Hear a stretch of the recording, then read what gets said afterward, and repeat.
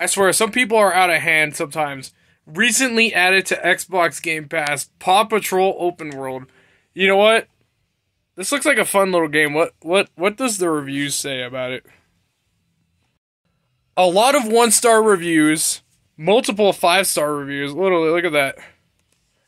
26% one star reviews, 52% five star reviews. I can goon to this game for hours. What what the hell? Do I even want to read most of the comments? Oh my god. No nudity, not even one red rocket. Really? You said that on a fucking Paw Patrol game? No red no fucking no red rocket on Paw Patrol? really? My son wants to get this game. What is gooning though? And what's this about prostitution? Ace sold me Fent. I'm geeking a biggin, whatever that means. Oh my god, this review. Can't eat dog. Went to eat, but there's no button to eat the dog. What the fuck kind of review is this?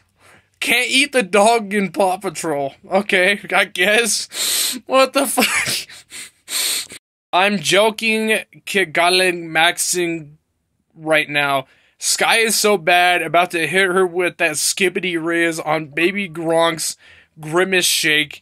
If she says no, I'll rope Max. See my Lord Kai Cenat. He's Fanum tax me to Ohio, but I'll mog Livvy Dunne and meet too mad. What the fuck is that even supposed to mean, bro? What is this shit?